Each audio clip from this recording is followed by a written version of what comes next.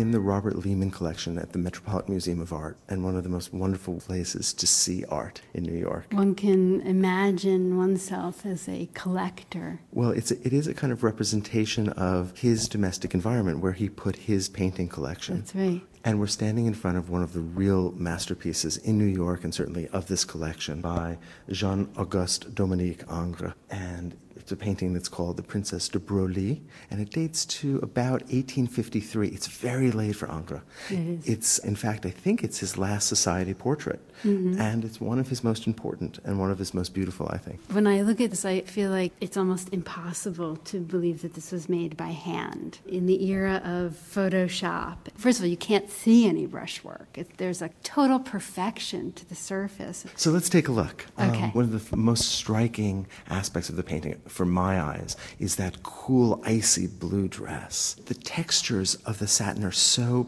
brilliantly rendered that you get this sense that I could almost hear it as the cloth pulls against itself. Or if she were to move and walk, we could hear what that sounds like as it al- rustled. and it almost feels like she is moving a little bit. She's amazingly alive. What I think Ingres is up to, to some extent, is contrasting the clarity and precision of that cloth against the softness of the skin, which has a kind of indeterminance. In a very characteristic Ingres way, there's something a little bit funny about the body and something a little bit funny about the way that the flesh is modeled. If you look at her left forearm, there should be more modeling there to indicate the arm's three dimensionality. And there's no musculature. Right, there's no musculature, there's no sense of bone. No and muscle, definition. right. Yeah. At first, when you look at the painting, there's no sense of this, but when you start to really look more closely, there's something dislocated about the upper part of the arm from the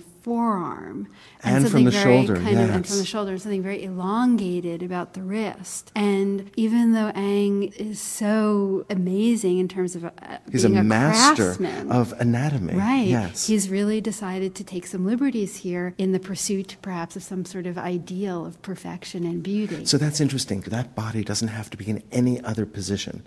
So he can actually idealize this particular position by very deftly and very subtly uh, transforming her skeletal structure, mm-hmm. really. Look at the length of the neck, for instance, right? I mean, it's just a little bit longer than one would expect. Her face is beautiful, but her eyes are just a little larger than we would expect and she gazes out with a kind of intensity, a kind of forlorn, poetic quality that speaks to her aristocratic position because she doesn't look at us, I don't think. I think she almost looks past us. or maybe a little down at us. Perhaps, perhaps even that, yeah.